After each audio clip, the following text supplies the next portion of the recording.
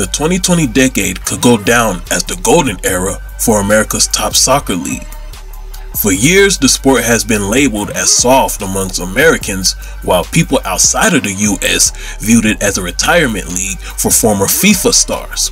The tide has turned within the last decade, as viewership has gone up and star players being recruited by clubs from the English Premier League more often than before.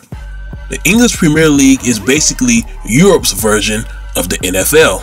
The best soccer players from the entire globe plays in that league. For MLS players to be recruited to that league on a consistent basis is a true testament to the growth and the bold steps that leadership is taking to improve the league. Another sign of growth is the first ever Thanksgiving game that took place in Commerce City, Colorado between the Rapids and the Portland Timbers. This wasn't merely a regular game. This was a thrilling playoff matchup where we witnessed the Timbers score a goal within the final minutes of extra time to knock the top seed Rapids out of the 2021 playoffs. This game was more interesting than the typical NFL game where we're forced to watch a pitiful Lions and an inconsistent Cowboys team. That playoff game had a record breaking of 1.8 million viewership on Fox. There are many more examples of how the league is growing, such as expansion teams and soccer based stadiums being built. However, one thing that'll put MLS in line as a major competitor to the NFL, NBA, and Major League Baseball is a cable network to call home. Yes, there are many people who are cutting the cord and streaming has played a major role in the growth of the league. However, cable networks give leagues the opportunity to expand its brand to those who aren't mobile savvy. It also gives the league the chance to reach a larger audience. Since most games are played on Saturdays, MLS would automatically be in competition with college football, which is an unofficial league that operates as a real one. This may sound like a daunting competitor, but if you closely examine that sport, you will come to realize that it's really not for these three reasons. One, college football is a regional sport like NASCAR. The major difference between the two sports is the racial demographic amongst the players. When it comes to the typical fan interests within American citizens, most people in New York City do not care about the Alabama Crimson Tide.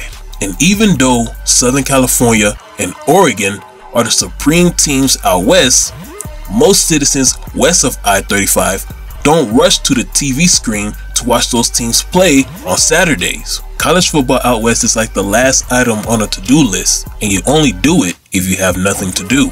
The Midwest is kind of similar to the South in regards to college football.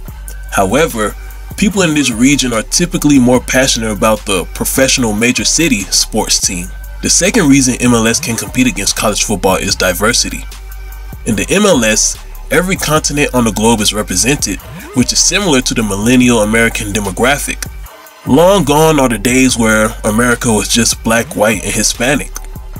The citizenship in this country now consists of every country and continent throughout the globe. Such similarity is seen amongst the MLS players, which brings communities together that typically don't come together on a Saturday afternoon. College football can't compete with the MLS on a diversity standpoint. It's not even close. The third reason Major League Soccer can compete with college football on Saturdays is that the college game is not a real league.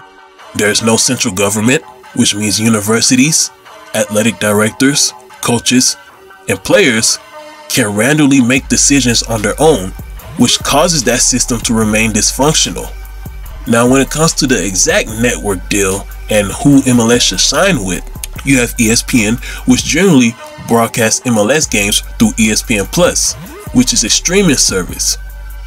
That network is getting ready to broadcast all of college football's Southeastern Conference games starting in 2024, which should eliminate them as a candidate to be the home of Major League Soccer, whose games are mostly played on Saturdays alongside the SEC. Next is Fox, the network that broadcasted the first ever Thanksgiving game. Similar to ESPN, they too broadcast college football games, but not the SEC. They usually show Big Ten Pac 12, and Big 12 games with their big noon Saturday program and then go on to show Major League Baseball games in the late afternoon. College football and MLB are the competitors on Saturdays, so it may not be wise for MLS to share a broadcast network with them. If you're the MLS, you should want a cable network that you can have to yourself. A cable network that will allow you to broadcast games from 12 noon in the New York, Chicago, Atlanta markets to the late evening in the Los Angeles, Vegas, and Denver markets, which leaves us to two CBS and NBC. CBS will no longer broadcast SEC games in 2024 due to that conference landing a $3 billion deal with Disney. It's believed that CBS is looking for another college conference to replace the SEC with. They may want to pump the brakes on such move because no conference will fill the void that the SEC is leaving behind. College football is a regional sport that works well for southern based programs. Major League Soccer has a bigger upside than college football on the national stage. NBC, on the other hand, rarely broadcasts sports as much as the other major networks. They showcase Notre Dame football on Saturdays, and on Sunday they broadcast one NFL game, which is in the nighttime. Similar to the SEC, the Fighting Irish is a regional program. If you don't have any connections to it, and if you don't live in the Chicago area, you generally don't care about Notre Dame football. Major League Soccer can share NBC Sports with Notre Dame football on Saturdays. NBC can also broadcast MLS Sunday afternoon games that leads up to the NFL Sunday night football game. This could put NBC Sports in financial competition with Fox and CBS, who generally shows NFL games on Sunday afternoon. The difference is NBC will now show football games in the afternoon and the nighttime, giving sports fans a full sports slate without having to change the channel. You wake up watching NBC football and you fall asleep watching NBC football. Whichever route Major League Soccer choose to go, it has to be the right choice. They have to get it right. The golden era of Major League Soccer heavily lies on which network deal they establish. There is no margin for error in this category.